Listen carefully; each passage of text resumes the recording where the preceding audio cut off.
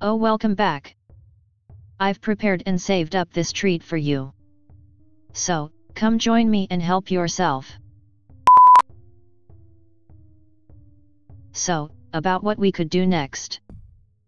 I simply have to think about it for a moment. Hmm. There's nothing that can be a tiny bit worthwhile for our current time together. I don't want to let this one day slide by.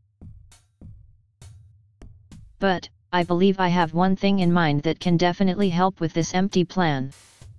So, shall a small travel around this area be helpful enough? Hmm? I see you're not fully prepared yet. It's alright, I'm a patient doll. We can head out together once you're finished.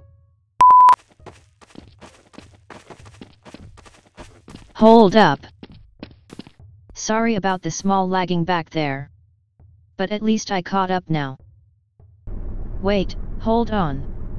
We could do whatever we can inside the small, temporary, home. Sorry about this. Oh, oh. Don't mind me too much while I take my small rest here. I'll be with you in the kitchen after my break on this couch.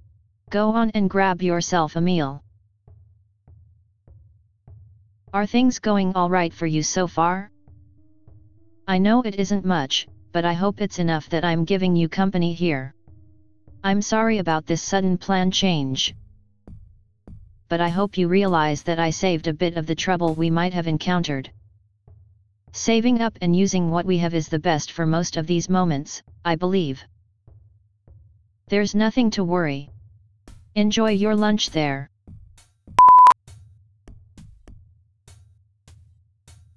Hmm? Is there an issue you have currently?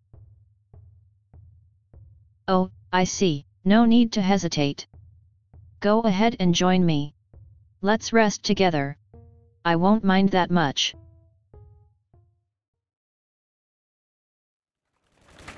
Commander, are you alright? I was worried that you'll stay unconscious for a while longer. Listen, that small battle is still ongoing. You don't have to worry much, Commander. We'll just finish this situation sooner, and then we can spend our date in a more peaceful area. You can continue recovering there, but I hope you'll be ready again in a quick moment.